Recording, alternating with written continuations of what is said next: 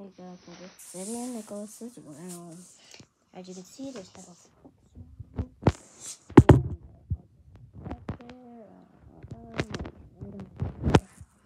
Just sitting around today. Nothing interesting. Bye.